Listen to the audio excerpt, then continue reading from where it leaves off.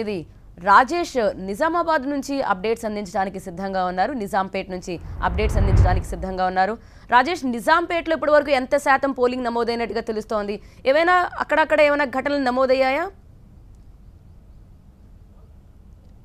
ప్రస్తుతం మనం నిజాంపేట్ కార్పొరేషన్ పరిధిలో ఉన్నటువంటి ప్రభుత్వ హై స్కూల్లో ఉన్నాము. ఇప్పటి వరకు అంటే చివరి నిమిషం వరకు కూడా ముప్పై తొమ్మిది శాతము పోలింగ్ నమోదైనట్లు కూడా ఇక్కడ ఉన్నటువంటి అధికారులు చెప్తున్నారు. ఎలాంటి ఇబ్బందులు తలెత్తకుండా పూర్తి స్థాయిలో ప్రశాంతమైనటువంటి వాతావరణంలో పోలింగ్ ప్రక్రియ కొనసాగినప్పటికీ బయట మాత్రము అభ్యర్థులను ప్రలోభపెట్టే అభ్యర్థులు ఓటర్లను ప్రలోభపెట్టేటువంటి అంశంలో మాత్రం కాస్త ఇటు అధికార టీఆర్ఎస్ పార్టీకి ఇండిపెండెంట్ అభ్యర్థులకు అదేవిధంగా కొంతమంది తెలుగుదేశం పార్టీ నాయకులు కాస్త వాగ్వాదం జరిగినటువంటి పరిస్థితి ఇక్కడ నెలకొంది. అదేవిధంగా ఇటు బాచుపల్లి దాంతోపాటు నిజాంపేట ప్రగతి నగర్ ఈ మూడు ఏరియాలు కలిపి నిజాంపేట కార్పొరేషన్ కేంద్ర సెంటర్ పాయింట్గా ఉంటుంది.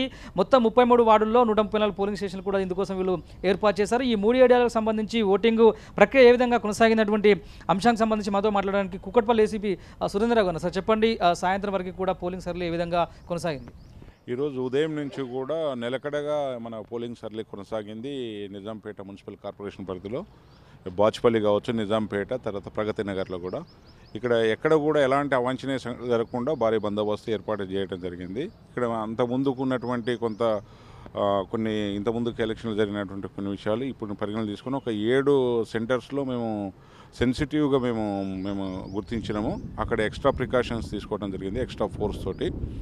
తర్వాత మీరు అన్నట్టు ఇప్పుడు బయట అక్కడక్కడ ఆరోపణలు వచ్చినా కూడా ఏ ఆరోపణ కూడా నిజం కాదు. ప్రతి ఆరోపణ కూడా మేము ఎంక్వైరీ చేసినాము. డబ్బులు పంచిపెట్టడం కానీ లేదా ప్రలోభ పెట్టే విషయం కానీ ఎక్కడ కూడా ఏది నిజమని తేలలేదు. ప్రజలందరూ కూడా స్వచ్ఛందంగా వచ్చేసి వారి యొక్క ఓటు హక్కుని నమో- నమోదు చేసుకున్నారు. ఈరోజు మూడు గంటల వరకు సాయంత్రం మూడు గంటల వరకు మనకు ఖచ్చితమైన సమాచారం ఉంది థర్టీ త్రీ పర్సెంట్ ఉంది. ఇక్కడ మాత్రం ఈ నిజాంపేట మన జడ్పీ హై స్కూల్